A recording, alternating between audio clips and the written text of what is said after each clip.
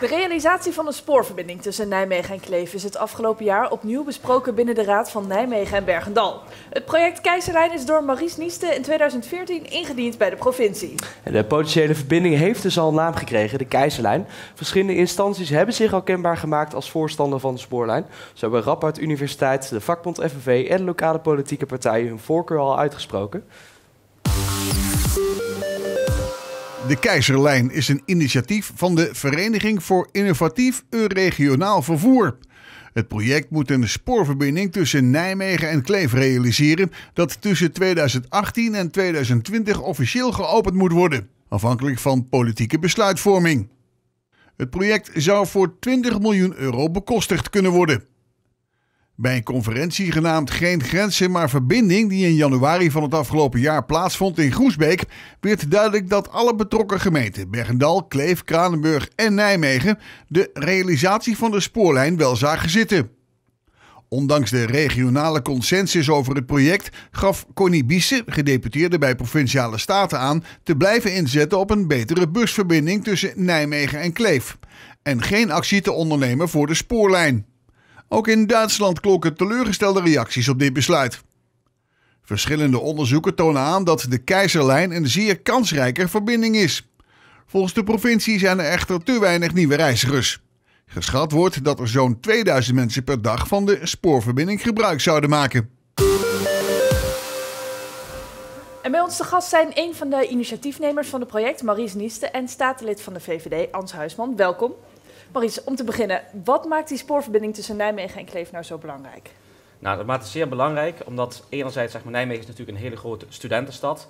Uh, ook heeft uh, nauwe verbindingen met Duitsland, um, zowel qua uh, cultuur, um, maar ook gewoon um, qua werkgevers. Zeg maar. Bijvoorbeeld de Radboud Universiteit wil heel graag verder met de hogeschool in Kleef. Een soort samenwerking om gewoon tot een combinatie van de taal, dat wij als Nederlanders wat meer van de Duitse taal leren. En wij denken dat inderdaad een verbinding waarmee je in 20 minuten op en neer kunt rijden, ja, dan kun je gewoon bij wijze van spreken tussen de lesuren door op en neer reizen. Dus dat is een hele belangrijke. Uh, daarnaast zijn er natuurlijk ook heel veel mensen in de regio die zijn over de grens uh, gaan wonen. Uh, dus er vindt ook heel veel autoverkeer en ook busverkeer, busvervoer plaats tussen de Nederlandse en de Duitse grens. Um, ook het succes van de buslijn uh, die Connie Biese eerder heeft bedoeld. En ook gewoon uh, de reden waarom er in deze periode in uh, is geïnvesteerd door de provincie.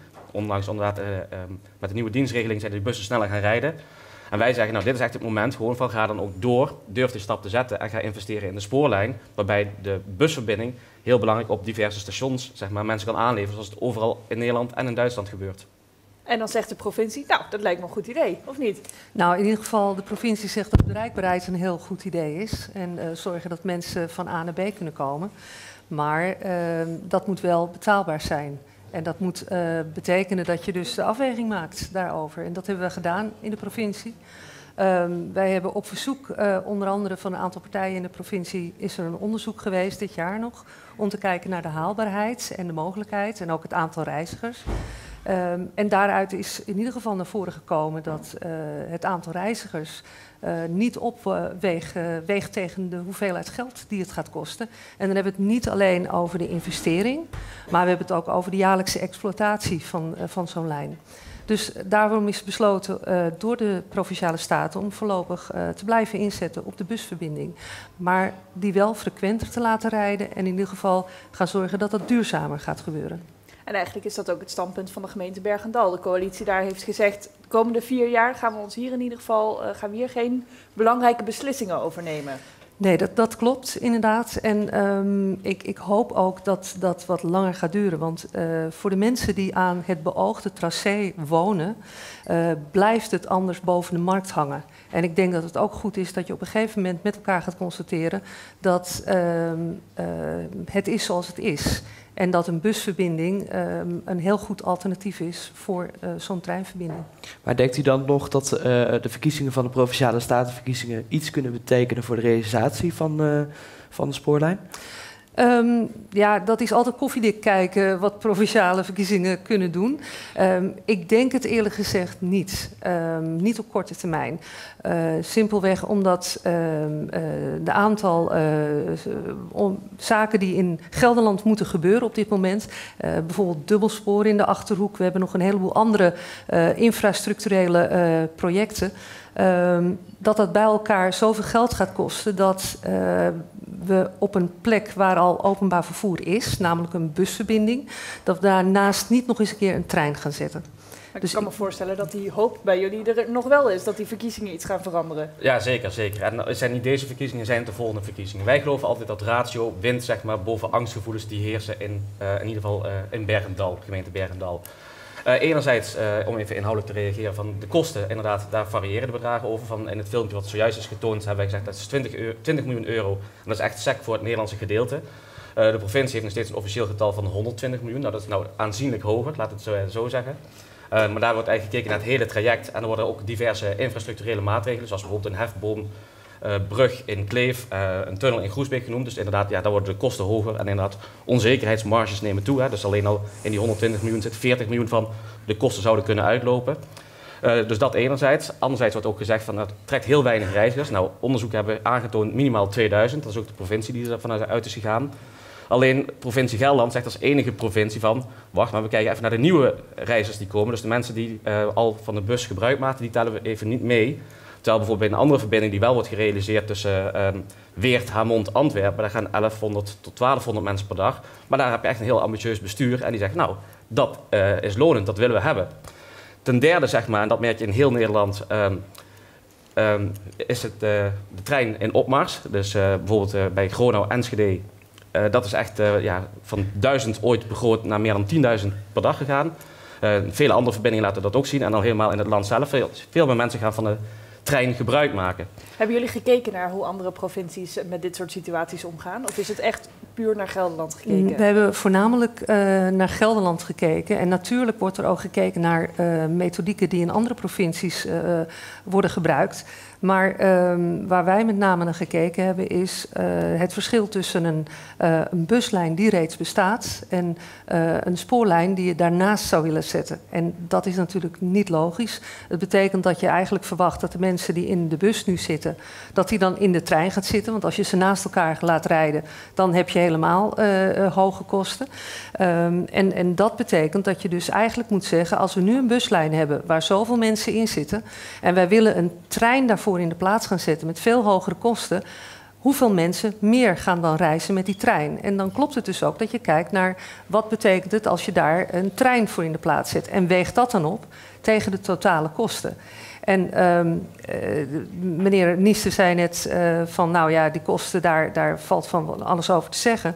Als je kijkt wat er in het centrum van Groesbeek moet gebeuren uh, op het moment dat je daar een trein wil zetten en je wil de mensen daar uh, ontlasten, want mensen wonen daar nu en die wonen daar heel dicht aan het uh, beoogde tracé, dan zal je daar behoorlijk in moeten investeren. Want die mensen verdienen het ook gewoon dat ze erop kunnen vertrouwen dat hun woonplezier niet wordt aangetast, omdat een aantal andere groepen willen dat daar opeens een trein gaat rijden.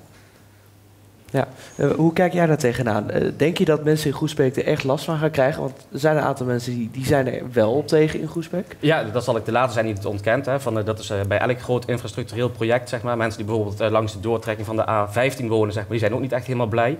Hè, dat, dat is ook zo, maar dan is gewoon een provincie hoort eigenlijk een belangenafweging te maken. Groter dan alleen kijken naar NIMBY's in Groesbeek of groter dan NIMBY's. Nee, die kijken gewoon naar lokale en interlokale belangen. Zeg maar. Van bijvoorbeeld de doortrekking van de A15 is heel logisch om heel veel ander verkeer te ontlasten. Zo is het ook gewoon met deze treinverbinding. Zeg maar. Het gaat niet alleen van mensen die in Kranenburg of in Kleef wonen. Nee, het gaat echt over van Nijmegen is rechts weer verbonden met Düsseldorf. dan weet ik dat is natuurlijk ook een alternatief nog via uh, Arnhem, uh, wat uh, ook een succes is geworden. Maar hier pak je eigenlijk juist iedereen die aan de links, linkse kant van de Rijn woont. Die hebben daar een perfecte manier van reizen. En dan wordt ook juist het openbaar vervoer een alternatief voor de auto. Want heel veel, um, we hebben heel veel studenten gesproken in Nijmegen. Uh, die zeggen nee, ik ga nog gewoon met de auto, want ik ga niet een, een, uur in de bus zitten. En als die bus er dadelijk 50 minuten over gaat doen, mooi, maar ik pak nog steeds lekker mijn auto. Maar een trein, zeg maar, dat is echt een alternatief. Dat is punctueel, veel en veel sneller. Geen parkeerproblemen meer in Nijmegen, Green Capital City, we hebben het al eerder gehoord. En dan nog ook wil ik zeggen, van, dat werd eerder ook al uh, gememoreerd, van als je kijkt naar echt de daadwerkelijke investering, plus dat het Rijk, het centrale Rijk, zeg maar, steeds meer budgetten legt richting decentrale overheden, zoals de provincie en de gemeentes, die we ook eerder vandaag aan tafel hebben gehad, dan valt de investering wel mee. En natuurlijk kun je het hebben over de hele sporen, maar aan de Duitse kant wil men al graag die doortrekking. Dat is ook uit de discussies gebleken en ook de reacties die mevrouw Biese eerder heeft gekregen eh, dit jaar toen ze de niet of de nein zei. Um, dus wat dat betreft, er is heel veel geld uh, uh, aanwezig, ook gewoon vanuit Brussel, zeg maar, co-financieren. Dus je moet echt kijken van wat kost het Gelderland zelf. Kijk ook inderdaad naar de vervoerders die het aanbieden, want er zijn al vervoerders geweest die daar hebben gezegd, nou, wij kunnen hier een rendabele business, business case van maken. En kijk dan inderdaad naar de vele werkgevers die ook al werden genoemd. En dan ga je zeggen, oké, hoe kunnen we Groesbeek faciliteren? Maar nou is er in, in, januari, of in ieder geval begin dit jaar, is er een bijeenkomst geweest met een aantal partijen die positief uh, tegenover deze trein, uh, de treinspoor staan, treintracé. Um, de provincie heeft zich inmiddels uitgesproken, de gemeente Bergendal heeft zich uitgesproken, inmiddels heeft Duitsland zich ook uitgesproken. Um, dat zij allemaal niet zo enthousiast zijn over, over dit plan, of in ieder geval niet zoals het er nu ligt moeten we niet gewoon zeggen: oké, um, we hebben met z'n allen ons best gedaan, maar het gaat niet lukken? Nou, als je de totale afweging kijkt, hè, van, uh, dat, dat heb je natuurlijk in de politiek sowieso. Van, uh, je hebt een, een, de zwijgende meerderheid, wordt wel eens gezegd, maar wij zien het ook gewoon terugkomen in uh, enquêtes. Um, wat dat betreft, er zijn heel veel partijen die zich positief hebben uitgesproken. En inderdaad, van nogmaals, van Bergendal begrijp ik het. Alleen er wordt heel gezegd, heel Bergendal is tegen. Maar ook daar in de verkiezingsprogramma's waren wel degelijk een aantal partijen die voor zijn. En ja, misschien even een heel fout bruggetje of zo, maar kijk richting Brexit. 52 om 48. Weet je, dat soort percentages zie je ook meer hier. Dus het beeld is wel veel genuanceerder. En wat dat betreft heb ik ook al eh, met wat lokale politici gesproken van hoe krijg je beste mensen mee. Want heel veel mensen, als ze eenmaal een trein rijdt, dan merk je ook bijvoorbeeld bij Randstad Rail, die waren eerst ook helemaal tegen. Bijvoorbeeld mensen in Berkel, Rode Pijnakker en zo. Maar die hebben dan een, een, tijdelijk abonnement gekregen van nou, reis gewoon een keer een jaar gratis mee. Dan heb je meteen meer mensen weer in de trein die je anders niet zou kunnen krijgen. En dan merk je dat mensen heel snel wisselen van standpunt. Van hé, hey, wacht, we hebben er ook gewoon de voordelen van. Ik ben inderdaad vanuit Groesbeek binnen 10 minuten droog en snel in Nijmegen in plaats van bij de bushalte te staan wachten. Dan krijg je de medestanders. En uit een ander onderzoek blijkt weer van inderdaad, als je een goede treinverbinding hebt, um, dan levert ook gewoon uh, meerwaarde in het vastgoed op. Dat zijn dus onafhankelijke onderzoeken. In 2019 gaan jullie nog gewoon verder Wij gaan gewoon met verder. de ontwikkeling van de keizerlijn. Zeker. We gaan het volgen.